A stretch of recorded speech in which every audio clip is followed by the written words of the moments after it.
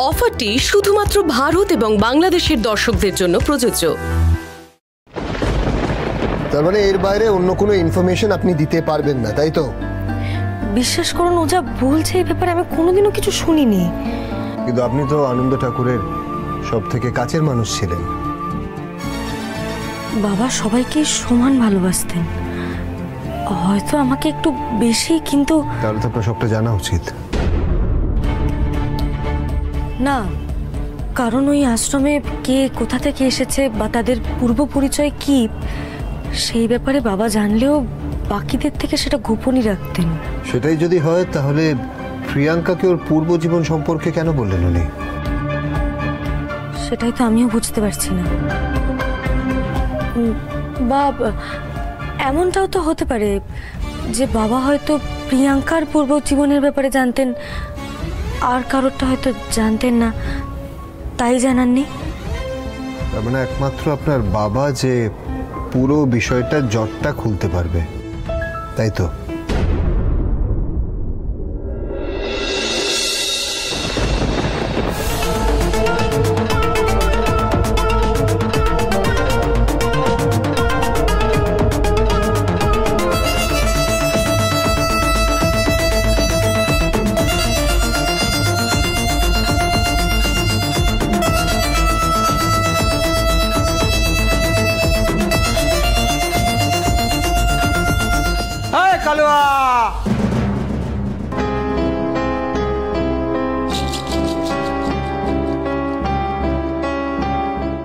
ঠাকুর? তোমাকে আরতি করে খেতে দিতে হবে? হ্যাঁ না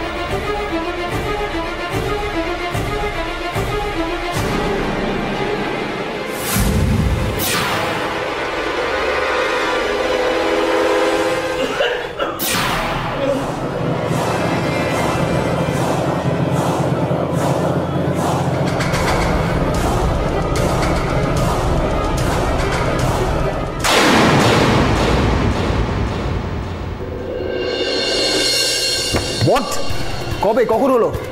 আজ লাঞ্চ টাইমে হয়েছে। তার মানে কিছুক্ষণ আগে? আপনার কি মনে হয় কেন হয়েছে? ফুড পয়জন হবে হয়তো। অদ্ভুত ব্যাপার। প্রত্যেকটা মানুষই খাবার খেলো কারোর হলো না শুধু আনন্দ ঠাকুরের হলো। এই আমি উনি কোথায় আছেন এখন? অবশ্যই জেল হসপিটালে আমি ওর সাথে দেখা করতে চাই। ওনার সঙ্গে দেখা করার মতো কোনো পারমিশন নেই আপনার কাছে। এক্সকিউজ মি আপনি আমাকে আটকাতে পারেন না অফিসার আমি ওনার লয়ার আপনি যদি আমাকে পারমিশন না দেন আমি কোর্ট থেকে অর্ডার এনে আনন্দ ঠাকুরের সঙ্গে দেখা করব। আর তখন আপনি আমাকে কোনোভাবেই আটকাতে পারবেন না। সো মাইন্ড ইট হ্যালো শুনুন।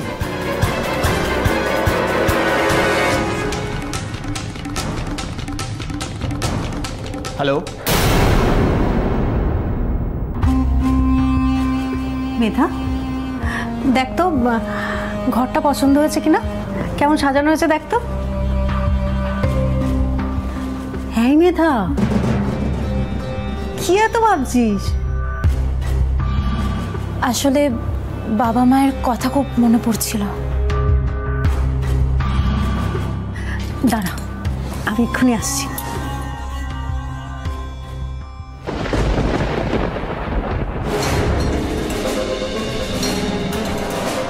এখন না হয় আনন্দ ঠাকুর কোমায় চলে গেল। কিন্তু পরে তো কোনো একদিন জ্ঞান ফিরে আসবে। তখন যদি সত্যিটা বলে দেয় ঠাকুর, কোনো কি উপায় পাওয়া যায় না? যাতে আমি চিরকালের জন্য সুমেধা হয়ে যেতে পারি প্রিয়াঙ্কা থেকে?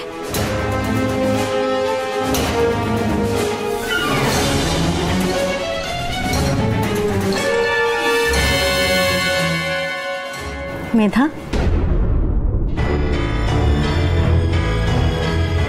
এই দেখ, তোর বাবা মায়ের ছবি। আজ থেকে তোর কাছেই থাকবে। আমার কাছে? হুম, এই ঘরেই টানিয়ে দেবো আমি। দাঁড়া, ছবিটা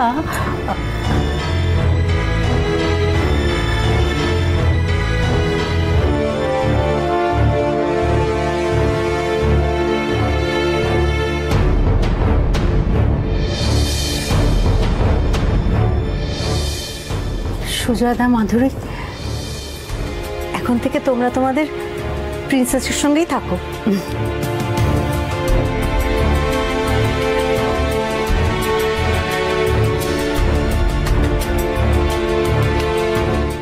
রে কি ভাবছিস এত?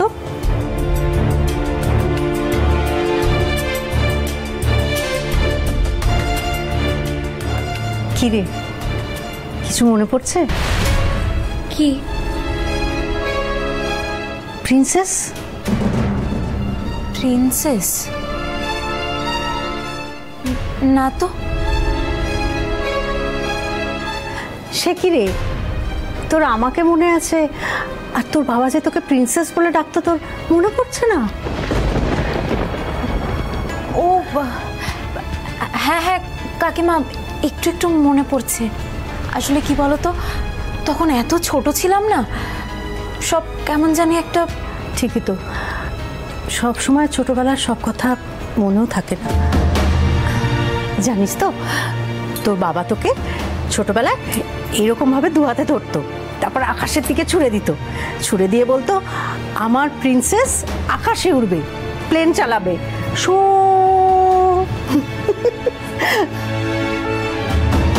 মনে পড়ছে? কিছু মনে পড়ছে তোর? হ্যাঁ? বল না, মনে পড়ছে না? হ্যাঁ? কি রে? ছোটবেলায় তোর বাবা বলতো, আমার প্রিন্সেস আকাশে উড়বে প্লেন চালাবে। শো। কিসের এত চিন্তা? এমন মুখটা ভার করে রয়েছিস কেন? বল না রে। কি হয়েছে দিদি? দেখ না স্বর্ণ নাকবউ কেমন মুখটা ভার করে রয়েছে। আসলে বাবার সঙ্গে দেখা করে এলো তো তাই বাবার জন্য মন খারাপ করছে। ও তাই না বৃষ্টি? চলো চলো তো ওখানে বসবে চলো। বসো ওখানে। হুম।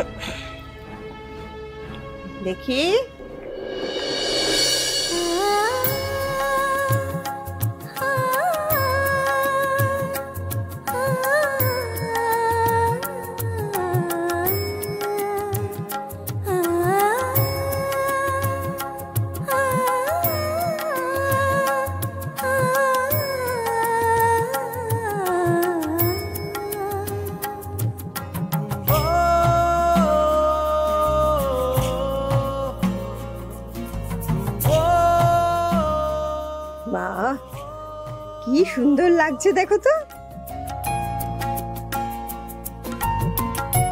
এসো। দেখো তো দিদি নাথ বউকে আমার কেমন লাগছে? খুব সুন্দর লাগছে। এবার থেকে সংসারের হালটা তো ওকেই ধরতে হবে বলো। তাই বলে হুট করে চাপিয়ে দিস না।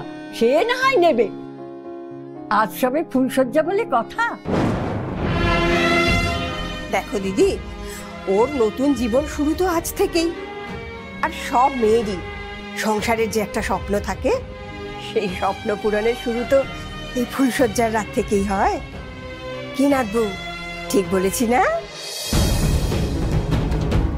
ফুলসজ্জা তাহলে তো এক ঘরে থাকতে হবে।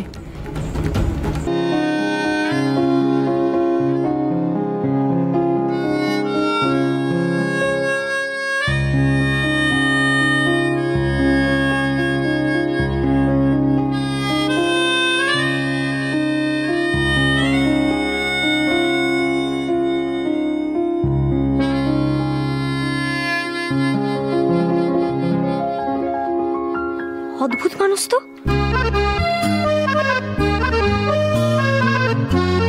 কি ভাবছ? আমি অদ্ভুত, তাই তো? আমি মানুষের মনের কথা পড়তে পারি, আর ওইটা আমার প্রফেশনে আমাকে খুব সাহায্য করে। আচ্ছা তুমি কি রাত্রিবেলা ঘুমানোর সময় ভয় পেয়ে চাচাও আমার পেন ড্রপ সাইলেন্স না হলে ঘুম হয় না মাইন্ডেড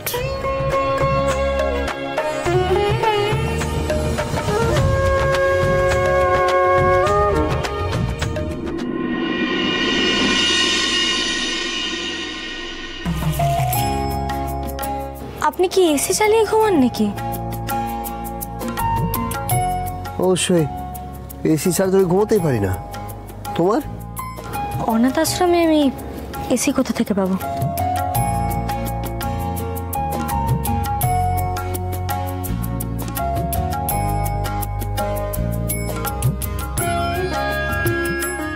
ওম সর্বমঙ্গল মঙ্গলে শিবে সর্বার্থে সাধিকে। এটা কি এটা শ্লোক আশ্রমে আমরা রোজ ঘুমাতে যাওয়ার আগে ঠাকুর প্রণাম করেই ঘুমাতাম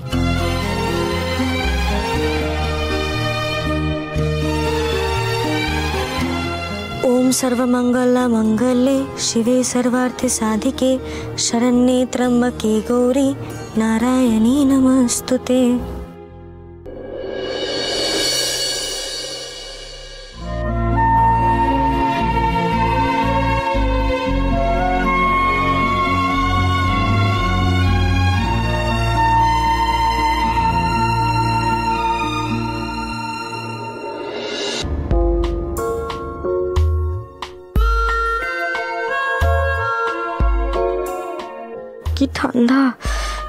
চাইছে কি লোকটা?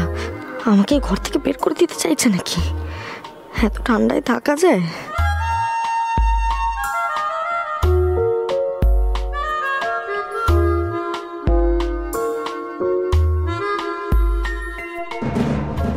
কি উঠলে কেন? আমি আর পারছি না। এসিটা একটু অফ করুন না। সম্ভবই নয়। প্রয়োজন হলে গায়ে কিছুটা দিয়ে নাও।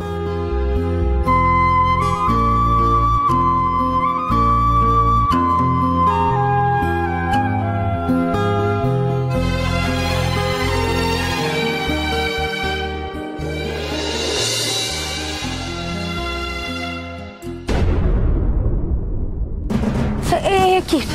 আপনি আবার উঠলেন কেন? তুমি উঠলে কেন? তুমি কি ভাবছ যে আমি তোমার উপর বাঘের মতন ঝাঁপিয়ে পড়ব? আমি অ্যালার্মটা দিতে ভুলে গেছিলাম অ্যালার্ম সেট করছি।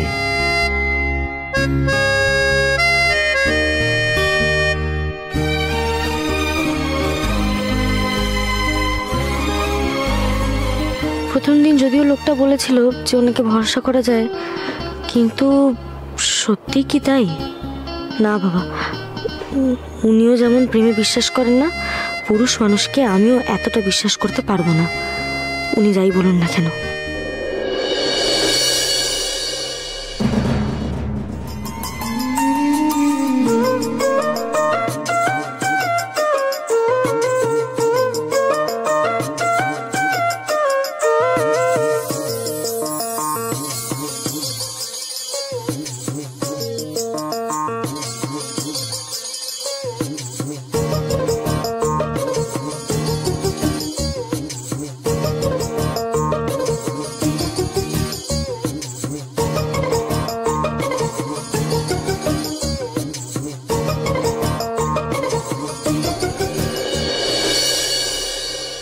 বারো মাস আমাকে এভাবেই ঘুমাতে হবে। তিন দিন কম।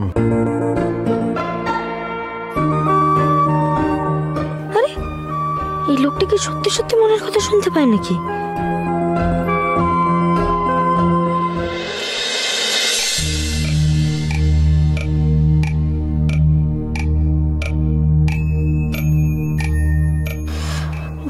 না আর পারছি না এই ঠান্ডায় শুতে বাবা মনে হচ্ছে সিমলায় বসে আছি।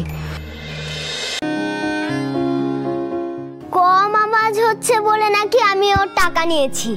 তোমার ব্যাংকটা নোটে ভরে গেছে ওই জন্য আওয়াজটা কম হচ্ছে। তোমরা দেখেছ সবাই আমাদের তিতলি কত বড় লোক। আচ্ছা ঠিক আছে। আজ রাতের মধ্যে তোমার পিগি ব্যাংকে আমি পয়সা ভরে দেবো। সত্যি দেবে?